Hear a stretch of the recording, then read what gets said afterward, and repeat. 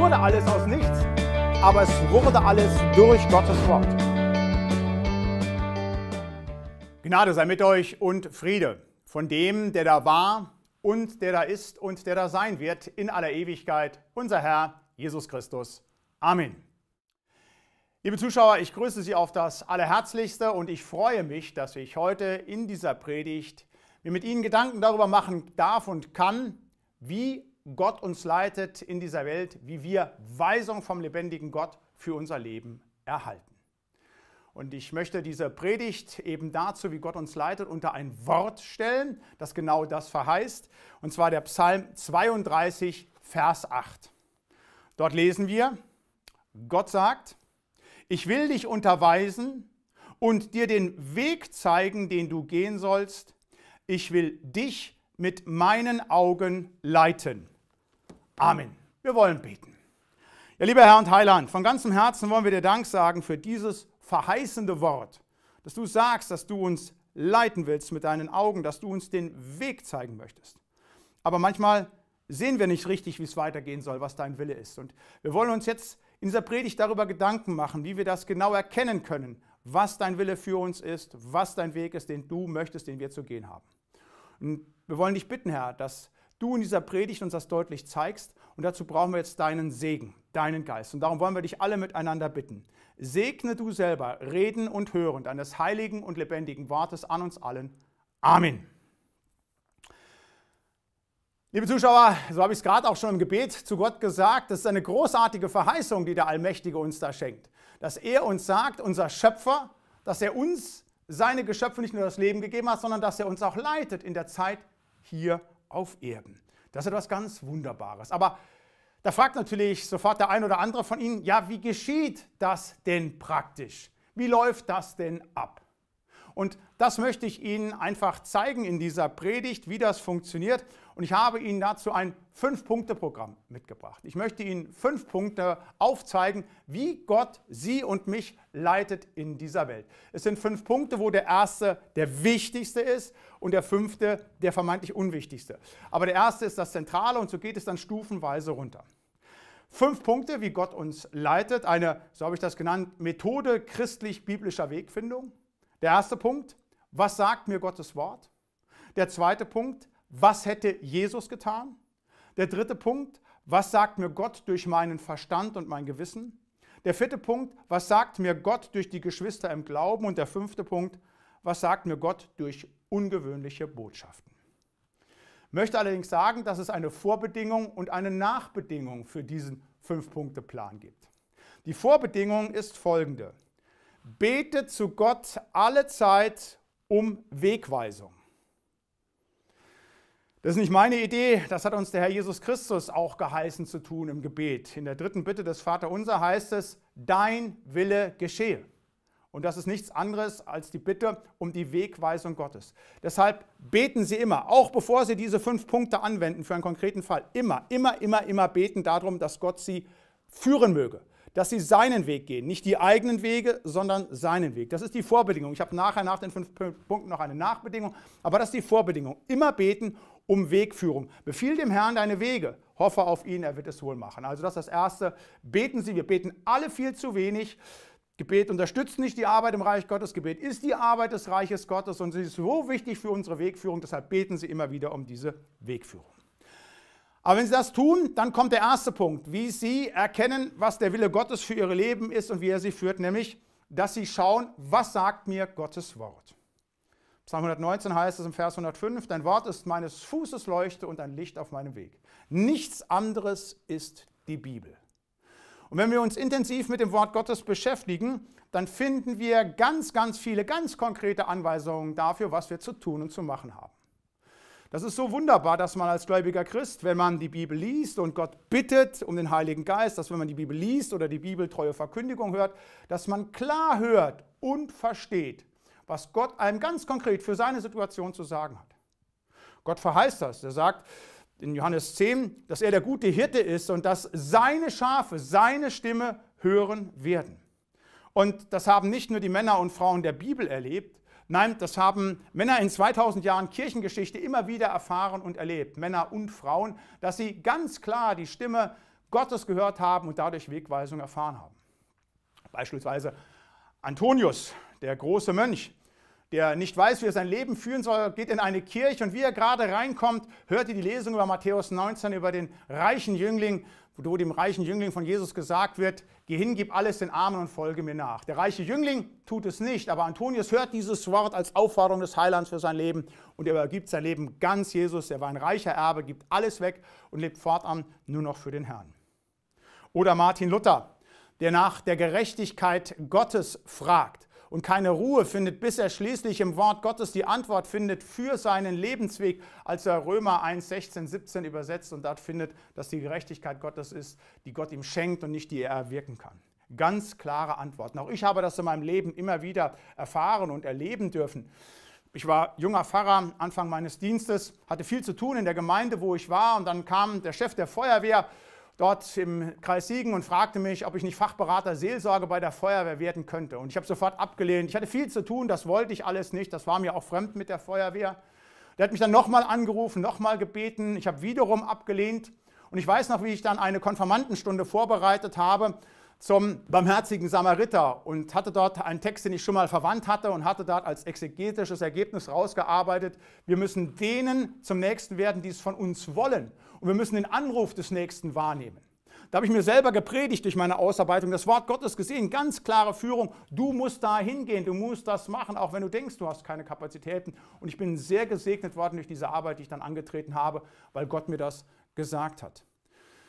Ich darf Ihnen das sagen, über 20 Jahre Pfarrer und durfte immer wieder erleben in den seelsorgerlichen Begegnungen, wenn man im Wort Gottes gegründet ist, dann kriegt man Antworten. Ich habe noch keine seelsorgerliche Begegnung erlebt, wo ich denjenigen, die mir gegenüber saßen, nicht klar vom Wort Gottes sagen konnte, was dran ist oder sie selber es erkannt haben. Die Frage war immer nur dann, ob man dem gehorsam ist oder nicht. Das heißt also, das ist das allererste und wichtigste, dass man das Wort Gottes befragt, was es einem zu sagen hat.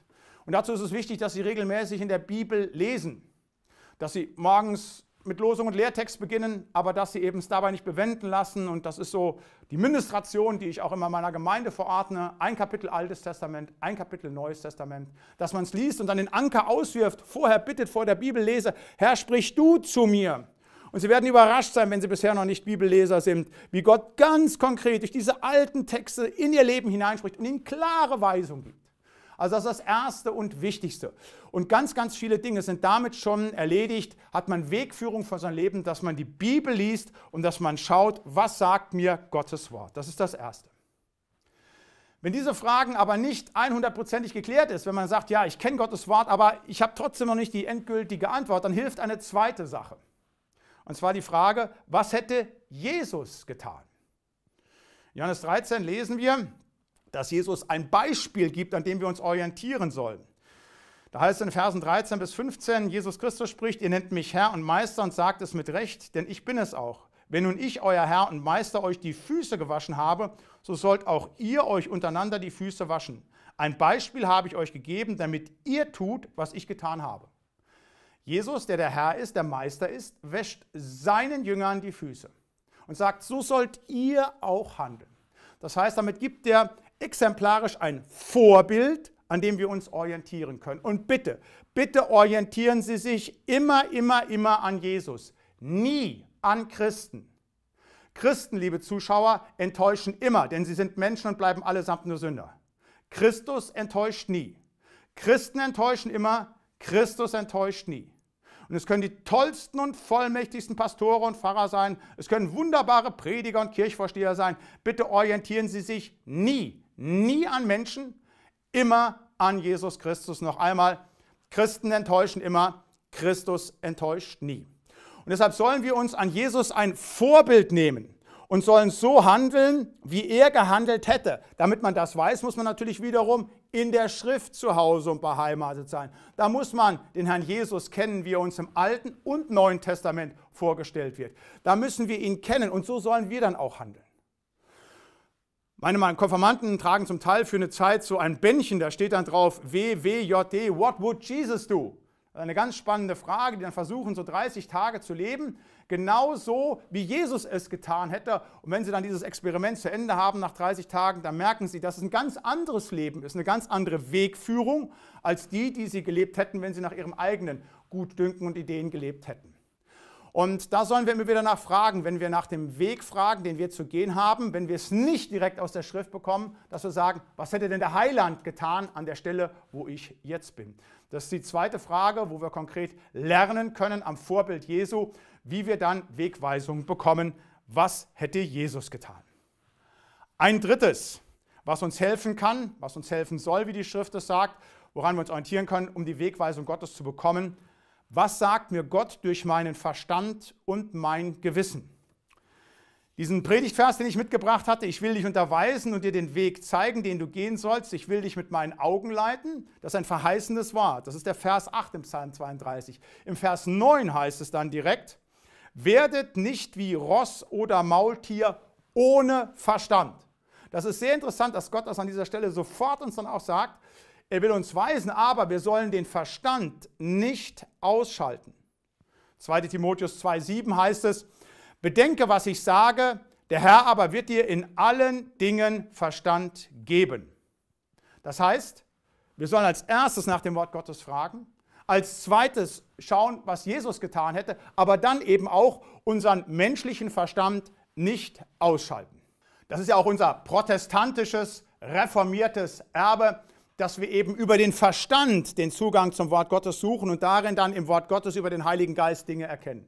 Wir haben es so nicht mit den Gefühlen oder der Ganzheitlichkeit, dass wir irgendwelchen Weihrauch schnuppern oder sonstige Dinge tun. Nein, wir haben den Zugang als Protestanten über den Verstand.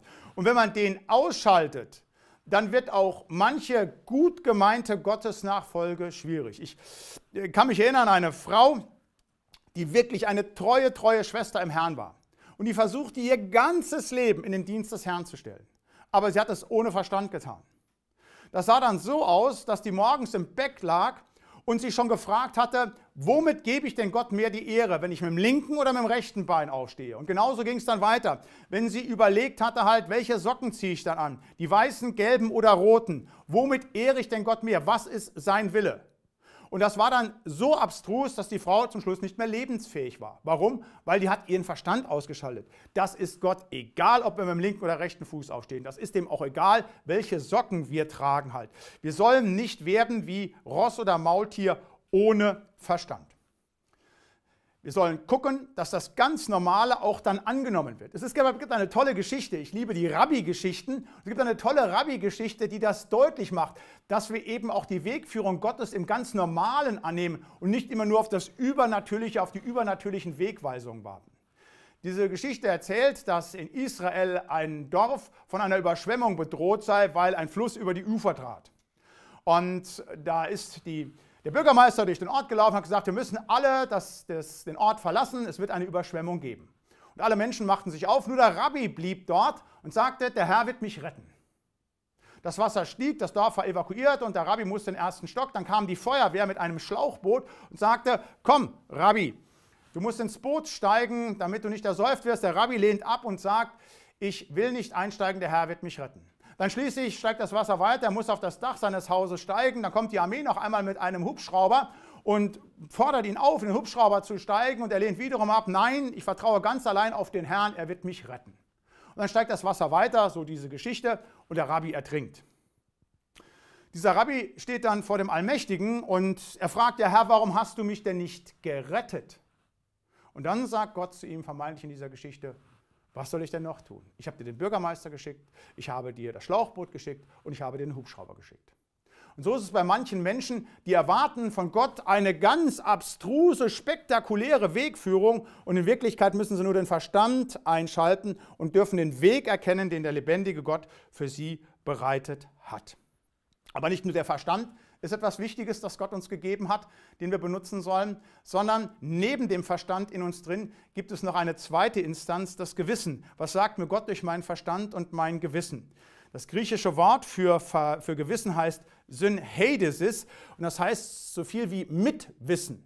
Und Gott hat uns mit dem Gewissen eine Instanz gegeben, wo wir auch merken, Da ist etwas nicht richtig, das ist Unrecht, das ist Sünde. Und wenn wir diesen inneren Gerichtshof sprechen hören, wo wir merken, wo wir merken, das ist nicht in Ordnung, dann sollen wir dem auch nachgehen. Das ist übrigens die Instanz, auf die Luther sich berufen hat, als er in Worms vor dem Reichstag nicht einknickt vor, den, äh, vor, dem, vor dem Papst und vor den Kardinälen und den Bischöfen, sondern allein beim Wort bleibt und sagt, ich bin im Gewissen gebunden, ich weiß, dass das falsch ist, also kann ich das nicht tun. Also das ist ganz wichtig. Als erstes ist das Wichtige, was sagt uns Gott durch sein Wort? Danach kommt die Frage, was hätte Jesus getan? Aber das dritte ist dann eben, was sagt mir Gott durch meinen Verstand und mein Gewissen? Und der vierte Punkt, wie wir biblisch-christliche Wegweisung bekommen, was sagt mir Gott durch die Geschwister im Glauben? Wenn ich nicht mehr weiterkomme und wenn ich trotz Studium in der Schrift, trotzdem Überlegen, was Jesus getan hätte, trotzdem Nachdenken im Verstand nicht weiterkomme, da ist es gut, dass der Herr und Heiland uns Brüder und Schwestern zur Seite gestellt hat. Kolosser 3, Vers 16 heißt es, lasst das Wort Christi reichlich unter euch wohnen, auch hier wieder Wort Gottes als erstes. Lehrt und ermahnt einander in aller Weisheit. Also das kommt dann auch dazu, dass wir Brüder und Schwestern haben, die uns auch sagen, was dran ist. Und auch das ist wichtig, dass wir da auf die Brüder, auf die Schwestern hören. Nicht auf die Menschen aus der Welt, die den Heiligen Geist nicht haben, sondern auf Brüder und Schwestern in der Gemeinde. Aber da ist es wichtig, dass wir da dann auch Wegführungen annehmen dürfen, uns da nicht manchmal verrennen, wie es manche Christen tun, die dann auch auf ganz spektakuläre Offenbarung warten und für das Einfache nicht offen sind, was ihnen Brüder und Schwestern sagen. Ich habe von der Geschichte eines Mannes gelesen in Amerika in einer Gemeinde, der dort in der Gebetsgemeinschaft war und immer wieder in der Gebetsgemeinschaft Gott angerufen hatte und gesagt hat, Herr, gib mir eine Aufgabe, gib mir eine Aufgabe, die ich erfüllen kann, also der klar um Wegweisung bat. Nachdem er das dreimal getan hatte, ging nach der Gebetsgemeinschaft der Pastor der Gemeinde zu ihm und sagte ihm, wir haben hier in der Gemeinde eine Aufgabe, die Kirchenbänke müssen renoviert werden, abgeschliffen und gestrichen werden. In der nächsten Gebetsgemeinschaft war dann dieser Bruder wieder dort und er betete abermals zu Gott und sagte, Herr, gib mir eine Aufgabe, aber nicht die Renovierung der Kirchenbänke. So sind eben manche Menschen, die sehen das Offensichtliche nicht oder sträuben sich gegen den Willen Gottes. Und Gott sei Dank ist es aber so, dass Gott zu uns redet, auch durch den Mund von Brüdern und Schwestern, dass wir uns immer wieder auch klar sagen können, in der Seelsorge oder durch Hinweise, was der rechte Weg ist. Übrigens auch das etwas, was in der Bibel immer wieder gezeigt wird, als Paulus und Barnabas in Apostelgeschichte 15 nach Jerusalem kommen, da haben sie die Frage danach, wie ist es denn jetzt mit der Beschneidung? Müssen die Menschen, die jetzt neu zum Glauben kommen, aus dem Heidentum auch beschnitten werden oder nicht? Denn Petrus, der behauptet klar, ja, die müssen beschneiden, beschnitten werden. Paulus sagt nach meiner Erkenntnis nicht. Und dann gehen sie hin und besprechen sich mit den Brüdern im Glauben und sie kommen zu dem Ergebnis, dass gesagt wird, für Petrus ist das mit der Beschneidung in Ordnung und bei Paulus geht es bei den Heiden auch ohne Beschneidung halt. Das ist ganz wichtig als viertes. Was sagt mir Gott durch die Geschwister im Glauben? Und dann fünftes und letztes schließlich, was sagt mir Gott durch ungewöhnliche Botschaften? Auch davon berichtet die Bibel, dass Gott natürlich auch ganz spektakuläre Ereignisse nutzen kann, um uns zu reden. Aber das möchte ich sagen, das ist die Ausnahme, das ist nicht die Regel. Wir finden so eine Ausnahme etwa in Apostelgeschichte 16, Vers 9. Paulus sah eine Erscheinung bei Nacht, ein Mann aus Mazedonien stand da und bat ihn, komm herüber und hilf uns. Eine Veränderung seiner Reisepläne, dass ganz klare Wegweisung kommt, da kommt ein Engel und er ruft ihn rüber nach Europa. Gott kann solche Dinge tun. Aber, und das ist mir ganz wichtig, gerade diesen Punkt 5, den muss man immer verifizieren, muss man immer bewahrheiten an dem ersten Punkt und an dem zweiten Punkt und an dem dritten Punkt, an dem vierten Punkt halt. Wenn ich solche besonderen Offenbarungen bekomme, dann muss ich immer wieder prüfen, ist es in Übereinstimmung mit der Schrift und ist es das nicht, dann muss ich das verwerfen, dann, dann ist die Quelle, wo das herkommt, nicht der lebendige Gott, sondern dann ist es jemand anderes halt. Das müssen wir wieder sehen. Auch der Satan wirkt in dieser Welt. Deshalb ja, Gott wirkt auch durch ungewöhnliche Botschaften. Gott wirkt auch durch Träume, gar keine Frage. Gott lässt den Biliam durch einen Esel eine Kundschaft kundtun. Es gibt ganz tolle Wege und Gott ist nichts unmöglich, wie er Menschen Botschaften geben kann. Aber Das ist wichtig. Wir können die immer wieder überprüfen und müssen überprüfen daran, ob sie mit Gottes Wort übereinstimmen. Und das möchte ich Sie bitten, wenn Sie so eine besondere, ungewöhnliche Botschaft bekommen, was nicht die Regel ist und was die Ausnahme ist. Bitte, das müssen Sie am Wort Gottes überprüfen und daran überprüfen, ob Jesus das genauso getan hätte. Und wenn es dazu ein Nein gibt, bitte dann verwerfen Sie das. Dann ist es nicht der lebendige Gott, der Sie dort anspricht, sondern dann ist es irgendetwas anderes, was Sie versucht wegzuziehen vom Wort Gottes. Aber auch dafür dürfen wir offen sein, für eben diese ungewöhnlichen Botschaften, die Gott gibt dass dieser Fünf-Punkte-Plan, dieses Fünf-Punkte-Programm einer Methode christlich-biblischer Wegfindung. Erstens, was sagt mir Gottes Wort? Zweitens, was hätte Jesus getan? Drittens, was sagt mir Gott durch meinen Verstand und mein Gewissen? Viertens, was sagt mir Gott durch die Geschwister im Glauben? Und fünftens, was sagt mir Gott durch ungewöhnliche Botschaften? Jetzt hatte ich Ihnen schon gesagt, es gibt eine Vorbedingung, also etwas, was dieses einbettet, dieses Fünf-Punkte-Programm. Die Vorbedingung war, beten Sie immer, beten Sie immer darum, dass der Herr Sie weisen möge, dass er Sie auf seinem Weg führt. Und die Nachbedingung bedeutet und lautet, wenn Sie eine Entscheidung getroffen haben, das heißt, wenn Sie überlegen, wie soll es denn weitergehen, welchen Weg soll ich beschreiten, wenn Sie eine Entscheidung getroffen haben, dann legen Sie diese Entscheidung vor den Thron des Allmächtigen, im Bild gesprochen, und bitten Sie um Korrektur, wenn Sie einen Fehler gemacht haben. Psalm 139 betet David, erforsche mich Gott und erkenne mein Herz, prüfe mich und erkenne, wie ich es meine, und siehe, ob ich auf bösem Wege bin und leite mich auf ewigem Wege. Bitte, wenn Sie eine Entscheidung nach diesem Programm getroffen haben, haben im Wort geguckt, haben geschaut, was hätte denn Jesus getan, haben Ihren Verstand bemüht, haben mit Geschwistern im Glauben gesprochen, haben vielleicht eine besondere, ungewöhnliche Botschaft bekommen und haben dann eine Entscheidung getroffen dann bitte immer wieder Gottes hinlegen und sagen, so tue ich auch immer, so bete ich, Herr, du weißt, ich bin ein schwacher Kandidat, ich bin ein sündiger Mensch, ich habe jetzt folgende Entscheidung getroffen, ich will Folgendes tun, nach bester Überlegung, nach Studium in deinem Wort. Aber wenn ich Dinge nicht erkannt habe, wenn es ein Fehler ist, dann greif ein, dann mach du Türen zu, lass es mich erkennen, leite du mich auf deinem ewigen Wege und verhindere, dass ich auf bösen und falschen Wege gehe. Und ich darf Ihnen versichern, wenn Sie das von ganzem Herzen tun, dann werden Sie erleben, wie Gott, wenn Sie einen Fehler machen, eingreift und Ihnen ein klares Stoppschild vorsetzt. Wir haben einen Gott, der uns führt und leitet. Und das ist etwas ganz Wunderbares, dass wir nicht allein sind in dieser Welt, sondern dass der Heiland bei uns ist als guter Hirte und dass er, wie es eben in diesem Psalm 32, Vers 8 heißt, dass er uns unterweisen will, dass er uns den Weg zeigen will, den wir zu gehen haben und dass er uns mit seinen Augen leiten wird. Und ich wünsche Ihnen, dass Sie das immer wieder spüren in Ihrem Leben. Die Nähe dieses wunderbaren Gottes in Jesus Christus, des guten Hirten, dass Sie seinen Segen, seinen Schutz und seine Bewahrung spüren, aber dass Sie immer wieder auch merken und erleben, wie er Sie führt. Dieser Gott, der Vater, Sohn und Heilige Geist, möge Sie alle, die Sie diese Predigt jetzt gesehen und gehört haben, segnen und behüten. Seien Sie Gott anbefohlen. Auf Wiedersehen.